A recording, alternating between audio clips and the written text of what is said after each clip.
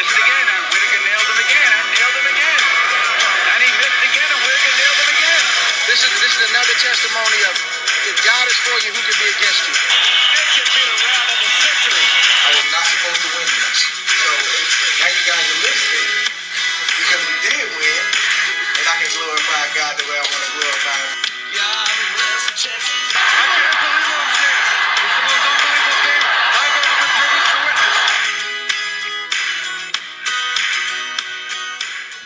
Welcome, welcome, welcome, welcome to another episode of 3D Boxing Podcast. I am back and we're going to be having shows every day again.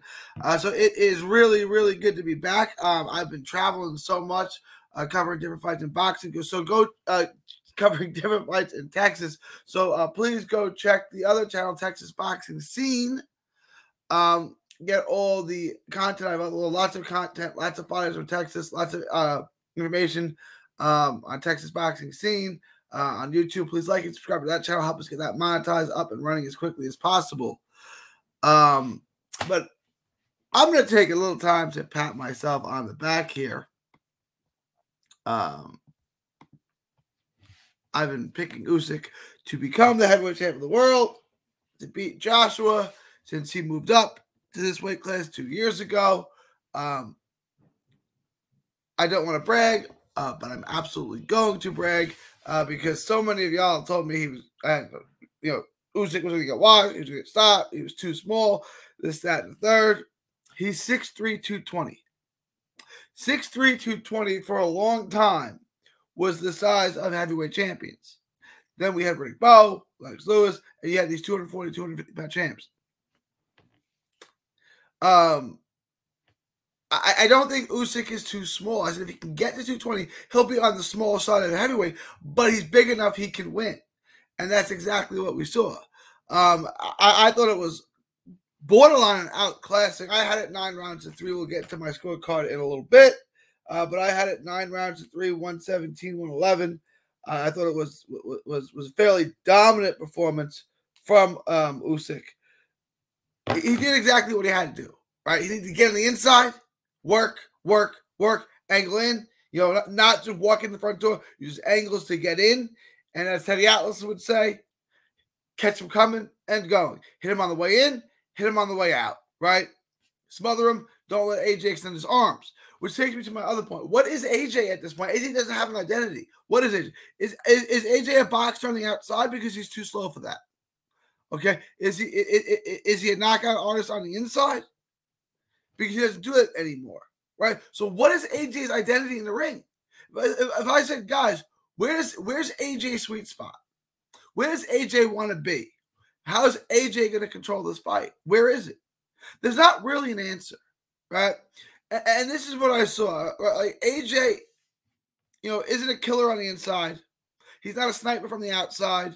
He's not quicker than you. He's not faster than you. He's, he's fundamentally sound. He's got good power. He's a good heavyweight. Usyk can be a special heavyweight because he's not undersized. And those skills, that punch volume, the angles, the angles, the angles, the angles, um, and then he angles out, makes you miss. Nothing, nothing straight in, nothing's in the front door. Everything's coming in through the side. Um, and he did get hit. He got hit so few times. I don't want to say that it, it was dominant. It, it was dominant. I, I don't want to say it was one sided. Joshua had moments in the fight. It wasn't a complete wash, but I, I thought clearly Usyk was the better fighter. Clearly, Usyk was winning the rounds. Um, Eddie Hearn made a ridiculous comment that he thought uh, Joshua was winning after eight rounds. Uh, I scored at that point two rounds for AJ. Uh, I scored the fifth and the sixth. I, I thought, you know, and, and, those rounds I, I thought were the close rounds, right? Like I, I thought Usyk the clear rounds, clearly won the first four rounds. The fifth and the sixth closer rounds, I gave him to AJ. And then I, I, I thought um, after that, I, I, thought Usyk was, was, was dominant again. You know, after uh, the second half of the fight, I thought he won, won basically every round. You know, I, I didn't see this like just like when I said uh, the Teofimo Lopez fight with Vasily Lomachenko. Everyone's like, "Oh, that fight was close." I didn't think it was close, and I didn't think this fight was close. I, I thought, I, I, thought it was clear that Usyk won most of the rounds, vast majority of the rounds. Uh, I'm looking at it right now. Yeah, five, six, and ten are the only rounds I gave to to, to Joshua. Uh, and Usyk did exactly what I thought. I wasn't shocked by the performance. Um, you know, I, I I I don't think this was a one-off performance that Usyk. I think if they fought again, it would look uh, really similar to this. The one thing I will say about Usyk is he's got to learn to knock people out. He's had he had Joshua hurt a couple of times. He never in serious trouble, but he had him in, in, in some trouble, right? He's got to learn how to finish people. You can't run through the heavyweight division. You UD12ing everyone. You're not going to UD12 everyone. You're going to have to knock someone out. Because if you do, you can get knocked out. Okay. These guys all can hit hard. All of them. All the top heavyweights in the world can hit hard. And then it takes one. You get caught, it's a good night. So he's going to have to learn to finish people. Now he's 34. I don't know how long he plans on fighting. Right?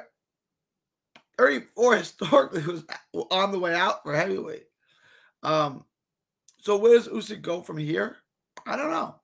You know, um, obviously the, the, the rematch is next. I'm assuming he wins that the same way he wins the first fight. Because I thought Joshua fought pretty well. Like I thought Joshua did what he could do. It's just not enough, right? Like Usyk, and this is the difference, right? This is the difference between a great heavyweight, a, a good heavyweight, and a great boxer. A great boxer does that to a good heavyweight, and Joshua's a good heavyweight. All right, uh, I, I, said I, I, think he's a little overrated. Like he's a good heavyweight. He's a good champion. He's good for the sport. I like Joshua. Fury outboxes him, Wilder knocks him out. Usyk does this to him. And I was pretty confident on that, right? And I'm pretty confident Wilder would knock him out. I'm pretty confident an in shape Andy Ruiz knocks him out again. And Tyson Fury outboxes him for days. So uh, uh that's not a knock on Joshua. This is a pretty good class of heavyweights right now. But I, I, don't think that he's you know you say he's a top 20 heavyweight, he's gonna make this, he's gonna have this great like I said, I don't I don't see that. Right? He's a champion. He he won it on merit. He defended it. He fought good fighters.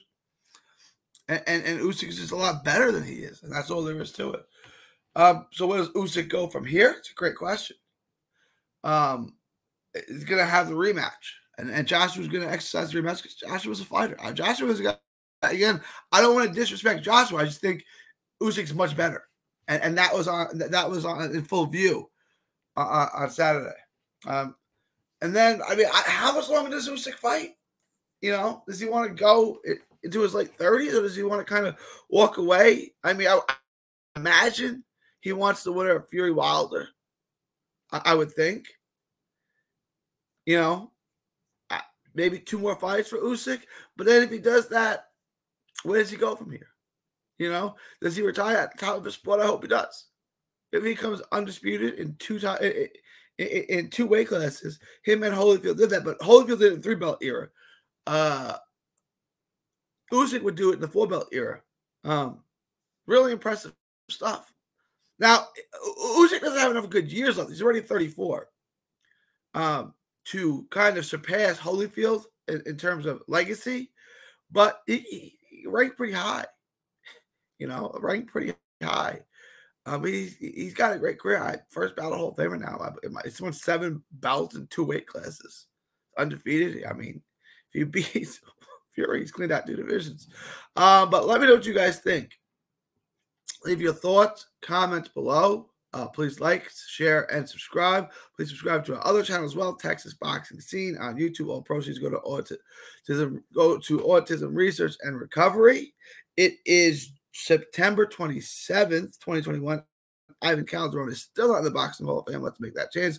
Let's get the Iron Boy in from Texas to the world. Thank you and God bless. Don't miss a tweet, post, story, or video. 3D Boxing is on Twitter, Instagram, and Facebook. Hit the subscribe button now to stay inside the ring.